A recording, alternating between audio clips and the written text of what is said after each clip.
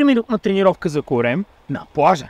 Ето една бърза и лесна тренировка, която може да поддържате формата дори на плажа. А като цяло, дори навсякъде, без значение къде се намират. Номер едно. Повдигане на краката от лек. 30 секунди. Второ. Ляскащи ритници. Отново. 30 секунди. Номер 3.